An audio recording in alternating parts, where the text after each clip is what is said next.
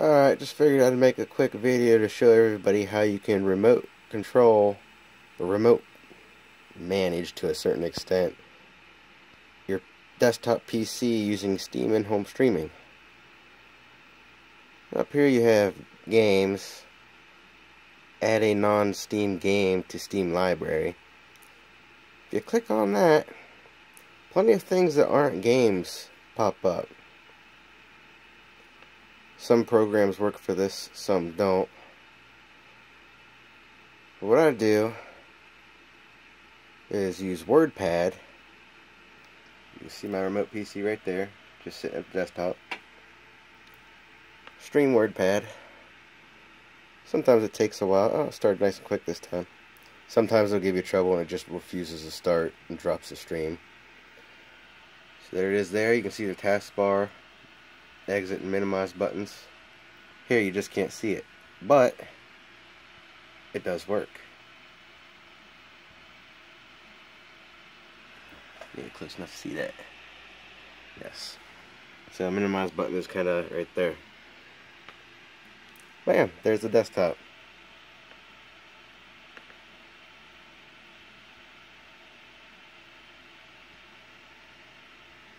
If you need more proof, there's the steaming or streaming statistics. So F6. See all that good shit.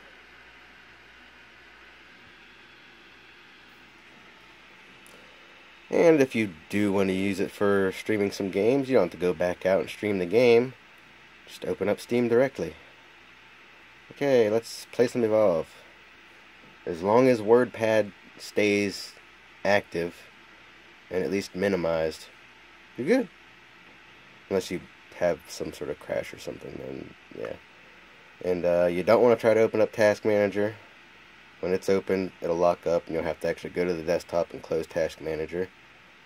Uh, MSI Afterburner does the same thing. Uh, what were some of the others? Oh yeah, AMD's ReLive Overlay will pop up, but you can't interact with it. Unfortunately, that sucked. And the audio is streaming to the laptop, but I could easily just turn the audio back on on the desktop if I wanted my stereo speakers over there that you can kind of see. Want those working, but whatever. Oh, we know this ain't gonna work. Yeah, yeah, yeah. Let's go already. I think there's enough proof to show you that it'll work for the game. Just get past this sign in that's gonna fail like it always fucking does because they don't support this game anymore because it was a flop. Fun game, but it's not perfect. Oh, it really makes me wish I would just edit this video.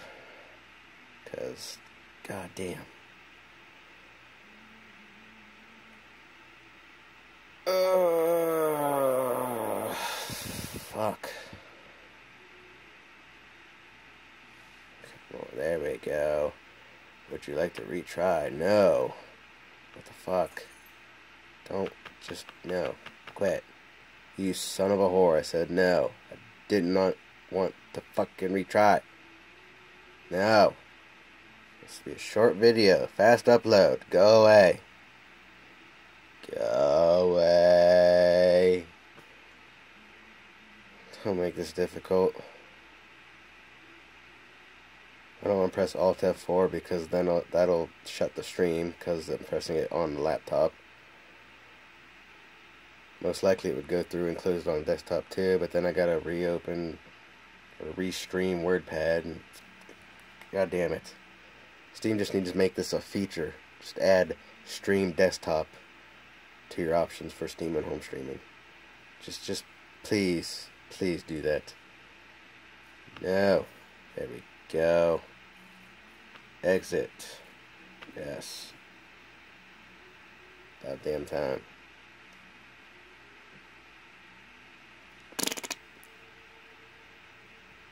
What the fuck? What the hell? Oh, you son of a bitch. Don't fucking do this shit to me now. Any other time this worked fine. Now it wants to be a bitch.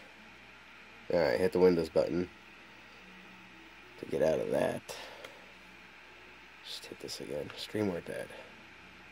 Work. Fucking work. Do it. There we go. You fuck. Normally that didn't cause that problem. God fucking damn it. But yeah, it's, it's all there. You play. Yeah, I, I don't want to see that shit. Just delete that shortcut.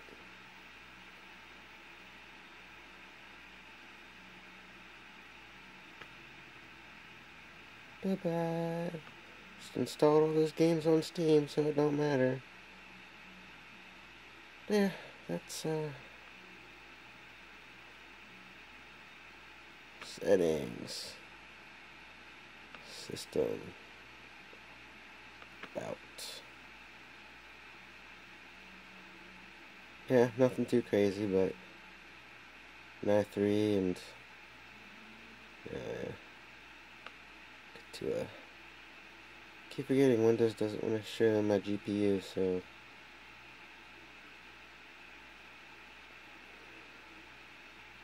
some of this is to blame on my slow as fuck hard drive.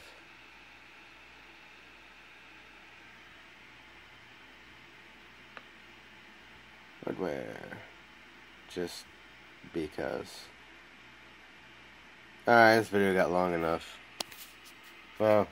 Fuck it. For those interested, Chrome always seems to work just fine.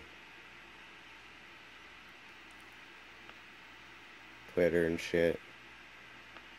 New tweets. Yay. Oh yeah, it's Friday. When show's gonna be on? I have to actually try to catch that live now. See, still remote controlling. Same shit up there. And it's not HDMI. That's the charger for this phone. That's power. That's Ethernet for the stream. No HDMI. So, yeah. Alright.